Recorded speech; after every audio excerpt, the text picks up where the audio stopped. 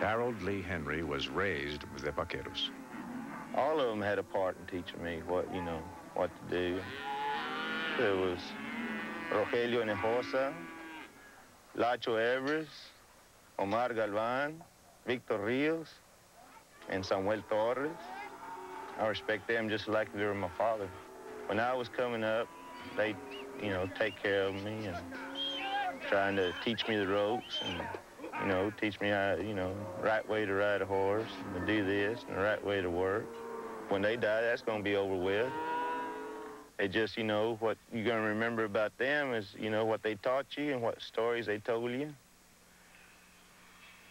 To me, you know, my thinking is if I wish I was born back when they were born, I think life would have been a lot simpler than what it is now.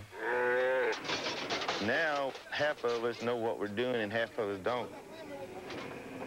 Some of them, you know, they're just starting out. They've never been raised on a ranch before, and they just come over here and they think they know what they're doing, but they really don't. For the older ones, they know by experience. They tell you to, you know, to do this and do that. It's just different nowadays than it was back then.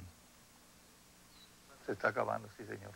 It's ending. Se está acabando. Todo- Everything is ending. acabando. Tenemos la cuestión The way of life of the velocidad se está vaquero is ending. The same goes for the way we used to work. Today they work very different. They work different. Perhaps the greatest threat to the Vaquero is the helicopter. Faster and a lot cheaper than having many Vaqueros on the payroll. Roundups which once took days can be accomplished in a few hours.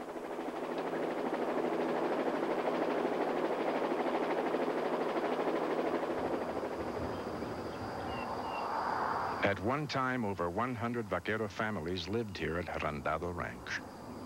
An original Spanish land grant, Rafael de la Garza's family has been ranching here for 138 years.